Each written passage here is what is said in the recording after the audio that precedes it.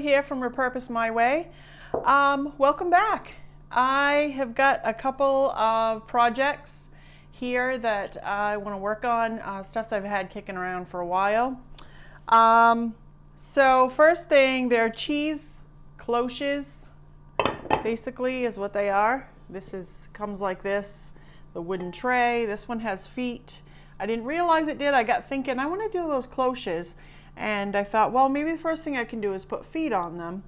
Uh, and then when I got it out and cleaned it up, I went, oh, look, it already has feet. So um, can't put feet on it, but I can brighten it up a little bit. It's kind of dark uh, stained wood. So uh, thinking I may paint it and then maybe distress it a little bit and just kind of brighten it up a little. Um, so that was one cloche. This one is, I bought just this. Oh, by the way, this was $3 for the set.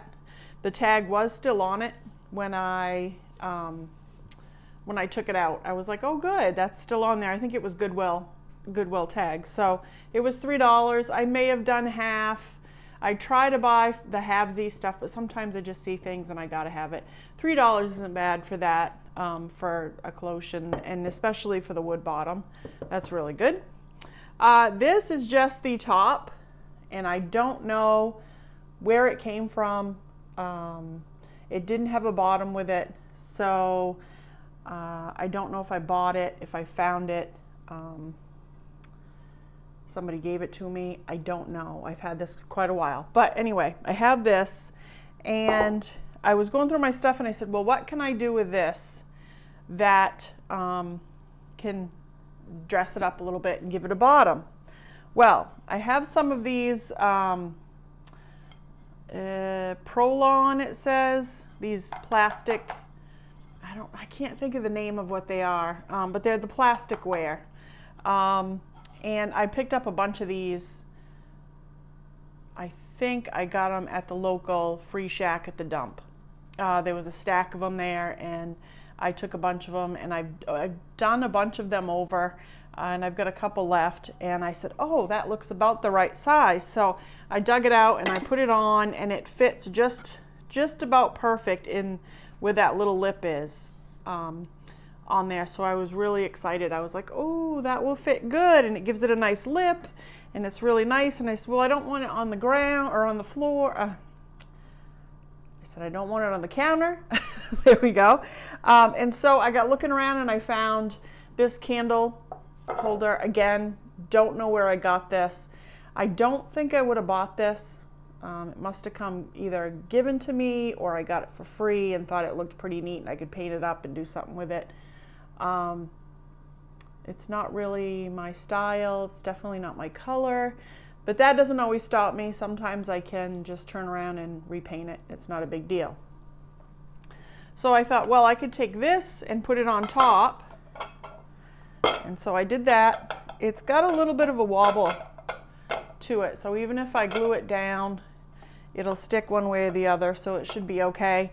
But I thought, well, what if I flip it over and do the fatter bottom on the bottom to give it a little bit more sturdiness and stuff and it's still a little wobbly but the top sits sits flatter but it's still wobbly and I'm not really sure uh, I'm thinking it's because it's raised raised edge. Um, but anyway I really like that. I thought that looked really cute like that and I like the fat bottom on it.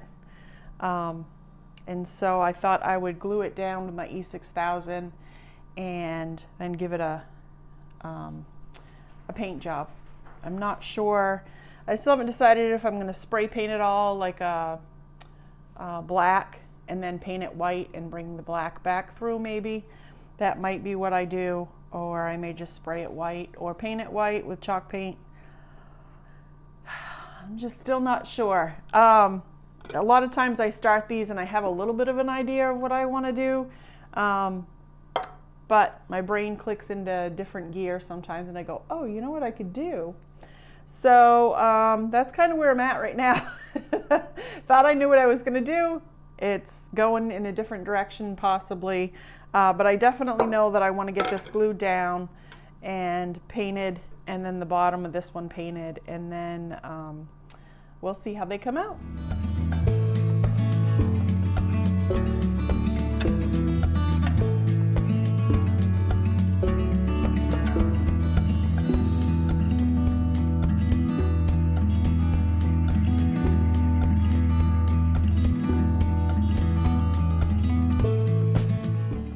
Okay, so as you saw, I glued down with my E6000 and a little bit of hot glue the base of the other stand. And then uh, I painted with my Waverly White chalk paint both of the plates or the stands for the cloches. And I just decided to do white on this one. I'm just going to do a few coats of white and see if it'll cover um, so I ended up doing two and a half coats on both of those. Um, I did two full coats and then I just did touch-ups uh, for the rest. And here I am sanding down the wood one so that it would get a little bit of a distress on it and bring back some of that darker wood that was underneath.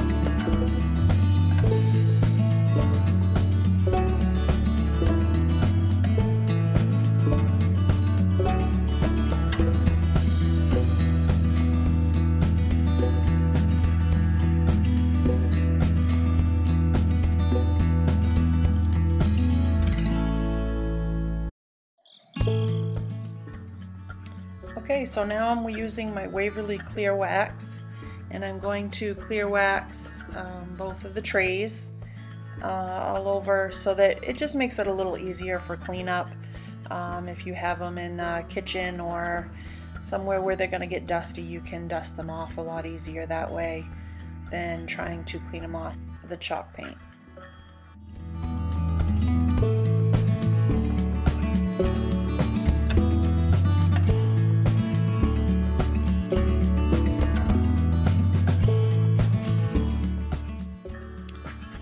Okay guys, we're getting down to the end of it. I've waxed it all and then I had to let it dry for about um, an hour. I put the dryer on it to dry it a little quicker so that I could hurry it up and get this done because I was is excited to see it finished. And here it is. So cute. I love it. Hope you guys love it too. Like, share, subscribe, and leave a comment down below if you love it or not. Have a great day. Thanks for stopping by. See ya.